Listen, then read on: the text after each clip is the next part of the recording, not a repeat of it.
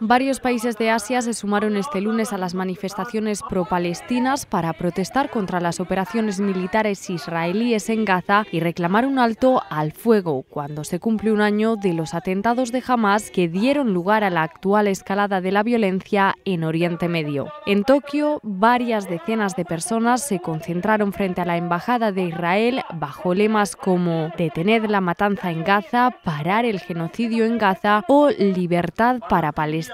En India, centenares de personas salieron también a las calles en Nueva Delhi para mostrar su apoyo al pueblo palestino y además pidieron al primer ministro del país, Narendra Modi, que se posicione plenamente a favor de Palestina. Otros países del sur de Asia, como Sri Lanka, Pakistán y Bangladesh, empezaron el domingo sus protestas con el fin de pedir el cese de la guerra mientras expresan su apoyo y solidaridad a Palestina. En Filipinas, manifestantes con banderas palestinas y carteles donde se puede